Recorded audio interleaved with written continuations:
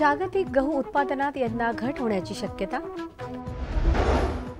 तूर खरेदीची मुदत पंधरा एप्रिलपर्यंत वाढवली? पुणे विभागात खरीपाची तयारी सुरू?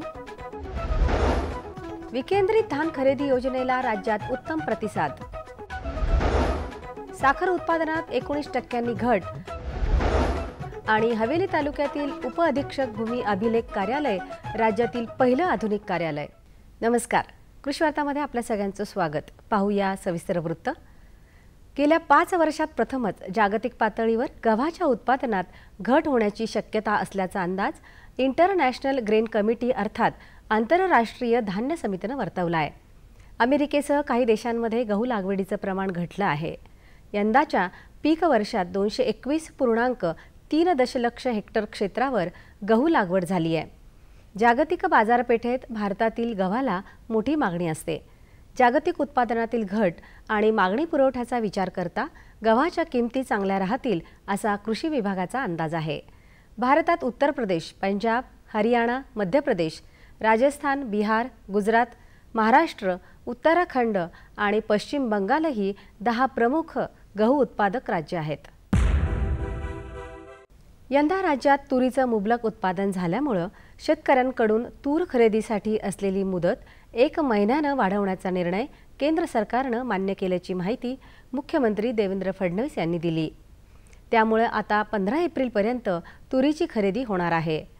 केंद्र सरकारच्या भावस्थिरता योजनेअंतर्गत पंधरा डिसेंबर दोन हजार सोळापासून राज्यात तुरीची आधारभूत दरानं खरेदी सुरू आहे. केंद्र सरकारनं तूर खरेदीसाठी नव्वद दिवसांचा कालावधी निश्चित केला असून तो पंधरा मार्चला संपतो. मात्र तुरीचं अपेक्षेपेक्षा मोठ्या प्रमाणात उत्पादन झाल्यानं आणि खरेदीमधील अडचणी लक्षात घेऊन खरेदीची मुदतही एक महिन्यानं वाढवण्यात आली आहे. पुणे विभागात येत्या खरीपासाठी शेतकऱ्यांची मागणी लक्षात घेऊन सात लाख वीस हजार तीनशे एकोणऐंशी मेट्रिक टन खताची मागणी कृषी आयुक्तालयाकडे केली आहे. पुणे विभागात खरीपाचे सरासरी सात लाख अडतीस हजार सातशे हेक्टर एवढं क्षेत्र आहे. यंदा गेल्या वर्षीच्या तुलनेत वीस हजार चारशे सत्तर मेट्रिक टनांनी मागणी कमी केली आहे. राज्य सरकारकडून धान अर्थात भाताच्या आधारभूत किमतीत झालेली वाढ आणि विकलेल्या मालाचं शेतकऱ्यांना तातडीनं मिळणारं शुल्क यामुळं राज्यात विकेंद्रित धान खरेदी योजनेला उत्तम प्रतिसाद मिळत आहे. राज्यात फेब्रुवारी अखेरपर्यंत बत्तीस लाख क्विंटल धानाची खरेदी झाली असून मार्च अखेरपर्यंत ही खरेदी सुरू राहणार आहे. धानाचे कोठार म्हटल्या जाणाऱ्या गोदिया जिल्ह्यात सर्वाधिक धान खरेदी झाली असून त्यापाठोपाठ भंडारा गडचिरोली ठाणे आणि पालघर जिल्ह्यातही मोठ्या प्रमाणात धान खरेदी होत आहे. देशातील साखर उत्पादनात यंदा अठरा पूर्णांक पाच दशांश टक्क्यांनी घट झाली असून उत्पादन सव्वीस पूर्णांक अठ्ठ्याण्णव लाख टनांनी कमी झालं आहे देशात एक ऑक्टोबर दोन हजार सोळा ते अठ्ठावीस फेब्रुवारी दोन हजार सतरा या कालावधीत एकशे बासष्ट पूर्णांक पंचेचाळीस लाख टन साखरेचं उत्पादन झाल्याची माहिती भारतीय साखर कारखानदार संघटना अर्थात इस्मानं दिली आहे. फेब्रुवारी अखेर राज्यातील एकशे छत्तीस कारखान्यांनी गाळप बंद केलं असून एक्केचाळीस पूर्णांक पंधरा लाख टन साखरेचं उत्पादन झालं आहे. शेतीसंबंधीची सर्व कागदपत्रांचा संगणीकरण करण्याचा उपक्रम महाराष्ट्र शासनाच्या महसूल विभागानं हाती घेतला आहे. यातील पहिलं आधुनिक भूमी अभिलेखा कार्यालय होण्याचा मान पुणे जिल्ह्यातील हवेली तालुक्यानं मिळवला आहे.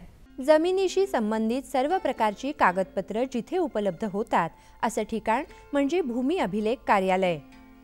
अभिलेख कक्ष हा या कार्यालयाचा आत्मा असतो. हवेली तालुका उपअधीक्षक शिवाजी भोसले यांनी आपलं कार्यालय आधुनिक बनवलं आहे. आणि म्हणूनच या कार्यालयाला राज्यातलं पहिलं आधुनिक कार्यालय म्हणून मान मिळाला आहे. भूमापन करणं म्हणजे जमिनीची मोजणी करणं भूमी अभिलेखांचे जतन संवर्धन आणि ते अद्ययावत करणं सार्वजनिक उपक्रमांसाठी भूसंपादन मोजणी करणं सरकारी जमिनींवरील अतिक्रमणं शोधणं ही आणि अशी अनेक कामं करणं हे भूमी अभिलेख कार्यालयाचं काम. त्यामुळे या विभागाला भेट देणाऱ्यांची संख्याही जास्त असते. हवा तो कागद शोधून वेळेत अर्जदारास उपलब्ध करून देणं हे अत्यंत कठीण काम सहजासहजी कोणत्याही कार्यालयात घडत नाही. पण हवेलीचं उपअधीक्षक कार्यालय मात्र याला अपवाद ठरला आहे.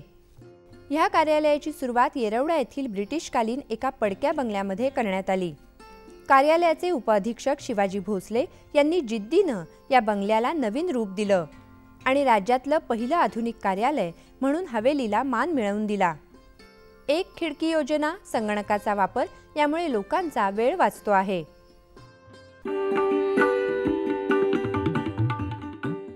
कमाल तापमानातील वाढ लक्षात घेऊन भाजीपाला उन्हाळी पिकांना आणि फळबागांना गरजेप्रमाणे पाणी द्यावं.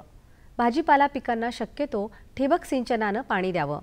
तसंच जमिनीतील ओलावा टिकवण्यासाठी प्लास्टिक पेपर मल्चिंगचा वापर करावा. फळबागांमध्ये गवताचं आच्छादन करावं.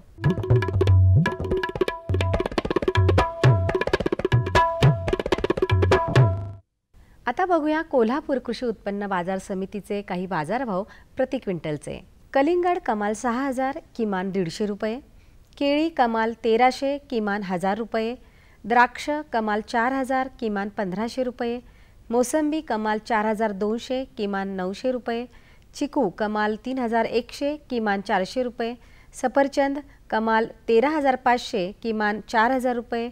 संत्री कमाल तीन हजार दोनशे किमान सोळाशे रुपये. काकडी कमाल तीन हजार रुपये किमान एक हजार रुपये आणि टोमॅटो कमाल सतराशे आणि किमान पाचशे रुपये. कृषी बाजारभावाविषयक अधिक माहितीसाठी W W W dot agmark net dot N I C dot in किंवा W W W dot M S A M B dot com ह्या संकेतस्थळाला भेट द्या.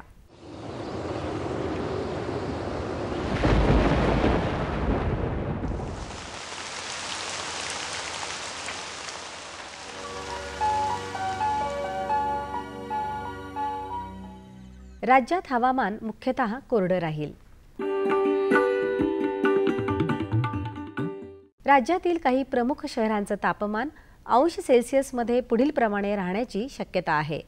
मुंबई कमाल चौतीस किमान बारा अंश सेल्सिअस पुणे कमाल तेहतीस किमान अकरा अंश सेल्सिअस नागपूर कमाल चौतीस किमान एकोणीस अंश सेल्सिअस नाशिक कमाल बत्तीस किमान पंधरा अंश सेल्सिअस औरंगाबाद कमाल चौतीस किमान सतरा अंश सेल्सिअस कोल्हापूर कमाल चौतीस किमान सतरा अंश सेल्सिअस सांगली कमाल पस्तीस किमान सतरा अंश सेल्सिअस सातारा कमाल चौतीस किमान अकरा अंश सेल्सिअस आणि सोलापूर कमाल अडतीस आणि किमान एकोणीस अंश सेल्सिअस. हवामानविषयक अधिक माहितीसाठी भारतीय हवामान विभागाच्या W W W dot I M D dot G O V dot in ह्या संकेतस्थळाला भेट द्या. या होत्या आजच्या कृषी वार्ता पुन्हा भेटूया पुढच्या भागात. तोपर्यंत नमस्कार.